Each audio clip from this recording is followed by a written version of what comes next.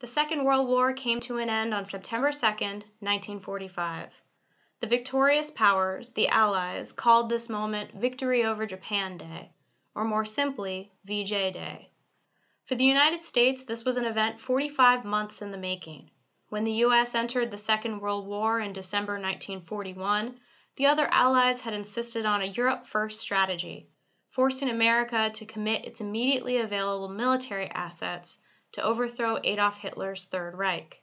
Eventually, on May 8, 1945, after sustaining hundreds of thousands of casualties, American forces helped bring Hitler's regime to its knees. That day, Field Marshal Wilhelm Keitel signed the Instrument of Surrender in Berlin, inaugurating Victory in Europe Day, or VE Day. During that time, U.S. military forces had not been idle in the Pacific. For the past three years, American Navy, Marine, and Army forces had greatly reduced Japan's hold on the western rim of the Pacific Ocean.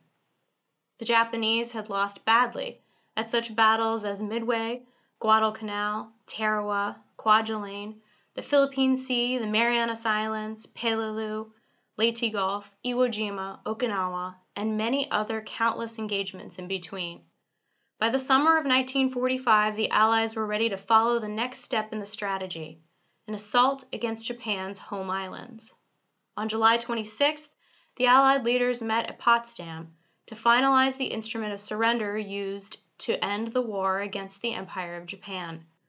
None of the Allied diplomats yet knew how long Japan might hold out, but in the event that Japanese leaders admitted their willingness to capitulate, they would have a document ready. The Potsdam ultimatum outlined fairly specific demands which included removing Japan's civil and military leaders from power, mandating Allied military occupation of the home islands, enforcing complete disarmament of Japan's military forces, and granting jurisdiction to punish Japanese civil and military officials for war crimes. The Allies promised to end military reconstruction of post war Japan once the Japanese people had constructed a democratic government that protected freedom of speech, religion, and thought, as well as fundamental human rights. But until the time when the Japanese could demonstrate that they had created a peaceful, responsible government, they would have to accept unconditional surrender.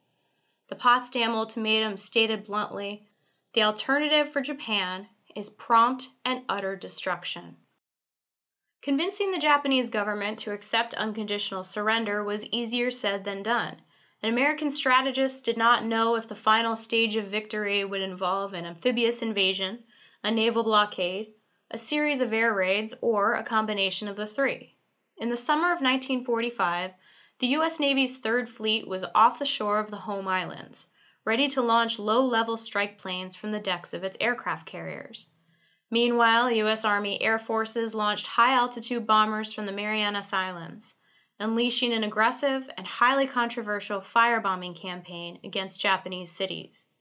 Further, 14 U.S. divisions were readying themselves for X Day, November 1, 1945, the start date for Operation Olympic, the invasion of Kyushu, the southern end of the Japanese home islands. After that, on March 1, 1946, the Allies planned to proceed with Operation Coronet, the invasion of Honshu, which earmarked at least 40 divisions for the initial landing. But before any of the amphibious operations could begin, President Harry Truman decided to deploy an experimental weapon, the atomic bomb, which had been tested for the first time on July 16, 1945, in a remote desert location in central New Mexico. Three weeks later, on August 6th, a U.S. Army Air Force B 29 Superfortress named the Enola Gay, detonated a uranium fission bomb nicknamed Little Boy over the city of Hiroshima. Then, three days later, on August 9th, another B 29 called Bockscar detonated a plutonium implosion bomb nicknamed Fat Man over Nagasaki. Although statistics are hard to determine precisely, as many as 200,000 Japanese civilians and military personnel were killed by the explosion or died of radiation poisoning in the months that followed. Truman's decision to utilize atomic weapons against Japanese civilians generated considerable controversy, both at the time of the bomb's deployment and ever since. But whether or not it was the right decision or even an ethical one, the use of the atomic bombs brought a swift end to the Pacific War. The deployment of the two atomic bombs had their desired effect. On August 14, 1945, Emperor Hirohito devised a capitulation message and announced it to his people. He said, in part, The enemy now possesses a new and terrible weapon, with the power to destroy many innocent lives and do incalculable damage. Should we continue to fight, not only would it result in an ultimate collapse and obliteration of the Japanese nation, but also it would lead to the total extinction of human civilization. Such being the case, how are we to save the millions of our subjects, or to atone ourselves before the hallowed spirits of our imperial ancestors? This is the reason why we have ordered the acceptance of the provisions of the Joint Declaration of the Powers. With that, the U.S. Navy entered Tokyo Bay to receive the Emperor's delegation and bring the nightmare of the Second World War to a close. In the following videos, you will hear the words of participants who remembered the arrival of VJ Day. More than 75 years have since passed, so many of the witnesses to VJ Day have since passed on. But before they died, they left behind vivid accounts of their experiences. Voice actors will read aloud their words to bring these recollections back to life. These memories force us to pause and reflect upon the importance of the Navy's role in the Pacific War's conclusion.